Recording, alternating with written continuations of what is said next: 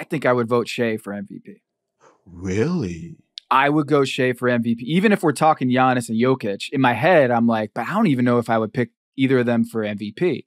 Because Shai, Shai is, look, what Shai does offensively, we know this. But defensively, he's leading the league in steals by a mile. And the Thunder, 22 average age Thunder, are top five defensively this year.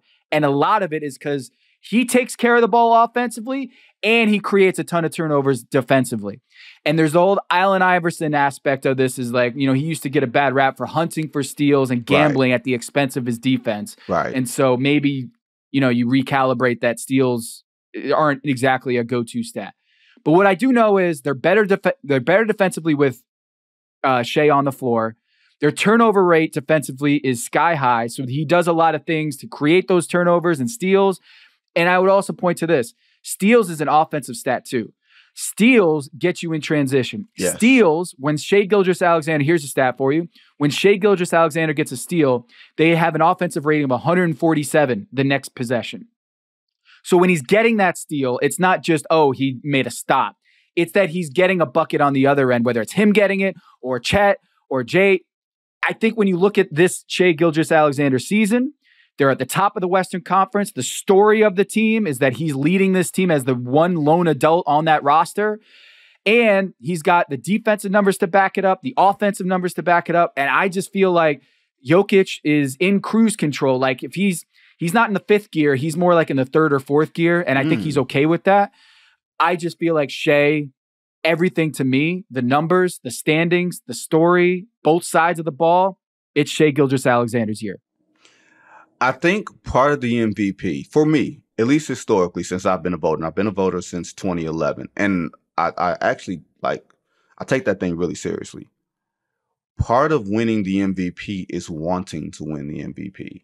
Is is the going for it more than it is, you know, narrative and everything else. The reason Embiid and I didn't make my MVP vote on Embiid until maybe the last two or three weeks of the season. I wasn't actually leaning Jokic because Jokic had powered down. I was actually leaning Giannis last year.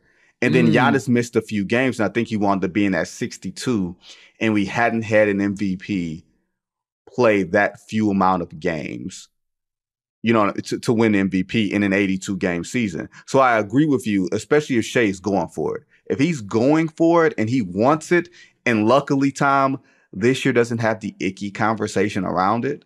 Like any level of that ickiness, hopefully, maybe we've learned our lesson.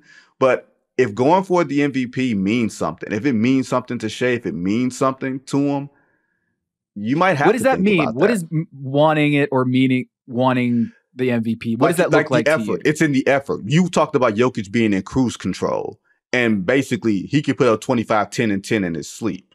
But there's mm. an element to not only am I elevating my team, but you can see me elevating my game and I'm going for it. Not playing selfishly, you know what I mean? But because you mentioned earlier when we talked about fatigue playing a part in teams and how they how they perform at this point in the season. If you're fighting off fatigue to actually go for it individually because you because you want it, not like in a selfish way, but you are elevating your game in that way, like that to that to me means something.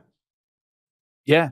And he I feel like he wants it. Are you saying he doesn't want it, or are you saying no, uh, no, no. I think I think there's an element that Shai wants it. I don't know if as a voting block we are paying enough attention. I think oh, it's a matter of like like an Academy Award. Like Denzel Washington will win an Academy Award for Training Day, but he wouldn't win it for Malcolm X. You know what I mean? Like that sort of thing. Like you're you're you're going to get it sometimes after you should.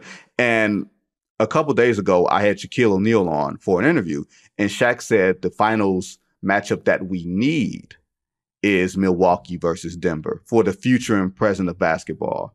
Ooh, interesting. Right? Yeah. Um, well, I feel like OKC is going to be here for a while. Denver's going to be here for a while.